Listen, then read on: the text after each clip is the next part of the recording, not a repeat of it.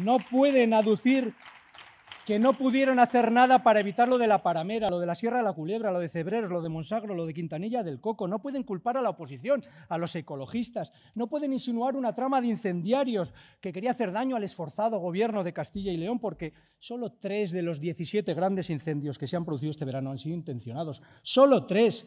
Este verano, asuman o no alguna responsabilidad política, va a pesar para siempre en sus conciencias, señor Mañote.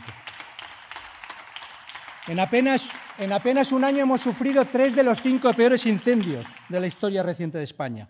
Si no fuera por los medios de otras comunidades autónomas y por la UME, aquel capricho de Zapatero que si fuera por ustedes no existirían, ¿se acuerdan? El drama hubiera sido muchísimo peor.